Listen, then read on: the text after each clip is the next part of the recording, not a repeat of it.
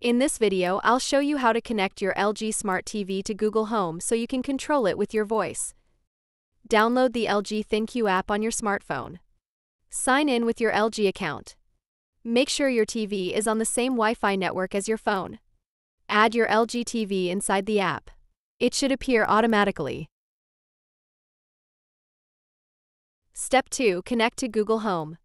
Open the Google Home app. Tap the plus icon. Then go to Setup Device. Then go to Works with Google.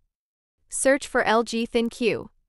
Sign in with the same LG account you used in the ThinQ app. Your TV will now appear in Google Home and is ready for voice control. Step 3 Test voice commands. Try commands like Hey Google, turn on the TV. Hey Google, set TV volume to 20. That's it. Now you can easily control your LG Smart TV using Google Home. Don't forget to like and subscribe for more helpful tech tutorials. Thanks for watching.